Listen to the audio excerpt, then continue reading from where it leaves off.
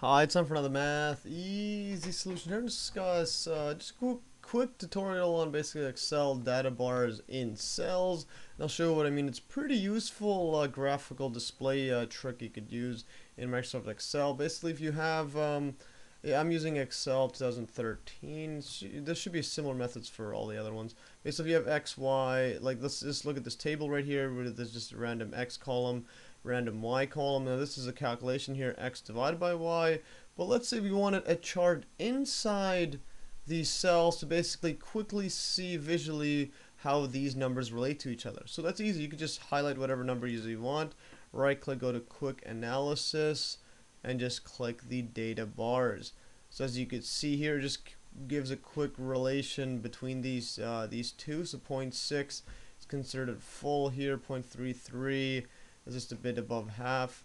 And if you go to 4, let's say, let's go to 4, 8, that should be another half. Again, you'd have to scroll this down. That's that's at 0.5, so basically 0.5 would be this close to 0.6. 0.6 is the highest one. And also, if you want to make it easier, you could just do this and go to uh, Insert Table and learn more about tables in my earlier video. I'll just change the format here to this thing over over here and center everything. Okay so this looks good here. So with this I could just go 7 8 as you can see now that's the highest. It automatically changes. It's all relative to the highest one. You can go 100 or 10 out of 5 this will always be 100 so basically this is really really small compared to 2 because now that's the highest ratio in this one here. I'll just fix this to be a bit just make uh just make a 100 like a 100% the highest or 1 out of 1 the highest.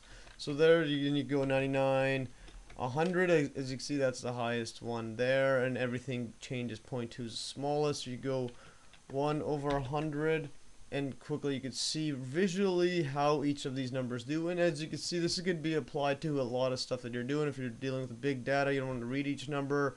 You can just visually see exactly which one's the highest which one's the lowest and the average uh, etc basically as you can see the average around this one should be around over slightly like this for my uh, drawing this uh, mouse over here and that is around 0.3 ish so as you can see a quick way to visually see the average visually see the minimum maximum etc anyway that's all for today. Uh, hopefully you'll learn from this videos again once again you just highlight wherever and just click quick analysis anyways that's all for today. Thanks for watching and uh, yeah you can download this exact uh, excel sheet in the in the link below and thanks for watching. Stay tuned for another math easy solution